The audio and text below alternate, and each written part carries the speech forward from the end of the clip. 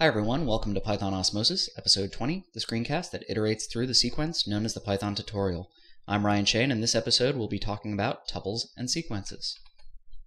So we've already learned about some types of sequences, like a string. Stringy equals. Now you can iterate through a sequence.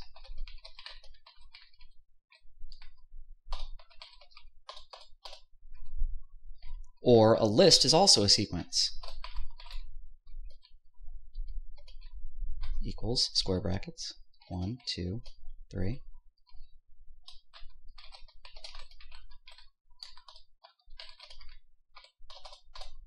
Same thing. There's another sequence type in Python called a tuple.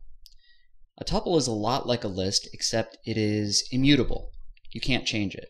So if I look at listy here and use the tab in IPython to see what methods are available, there's all of these things that will actually change the list in line. Inserting, appending, sorting. A tuple isn't going to have any of that. Let's go ahead and create one.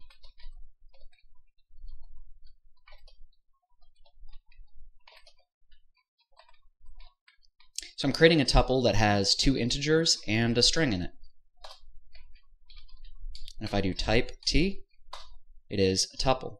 Notice I didn't put any square bracket or anything like that on this tuple.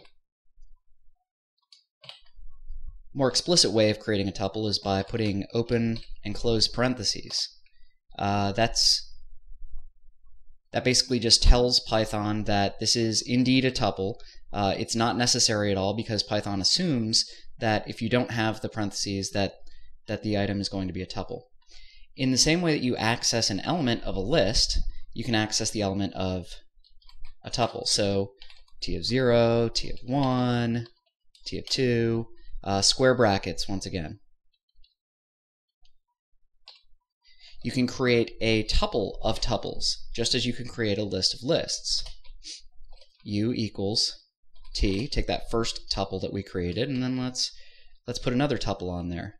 Um, one, two, three, four, five. Notice we use the open and close parentheses here. And as we'd expect, we have a tuple of two different tuples. First, our tuple t, and then our newly created 1, 2, 3, 4, 5 tuple. If you want to create an empty tuple, you just set empty to open close parens with nothing in there. Obviously that comes back with just open close parens. Notice also that anytime that, a, that Python shows us a tuple, it does explicitly use the opening and close parens, even if we assigned it without using them. One, one anomaly of the tuple is if you're creating a tuple that only has one item in there, you're going to want to have a trailing comma. So for example, let me show you what happens if you don't do this. So open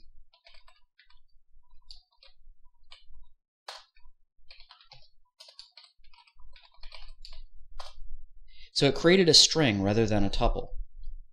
Python had no way to know that I uh, to tell between a parenthetically separated string and an actual tuple of one item.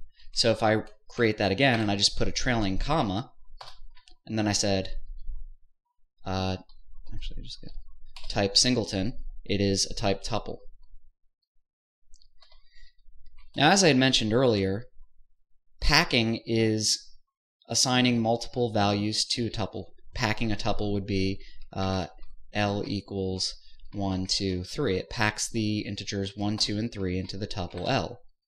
Uh, we've looked at unpacking a while back.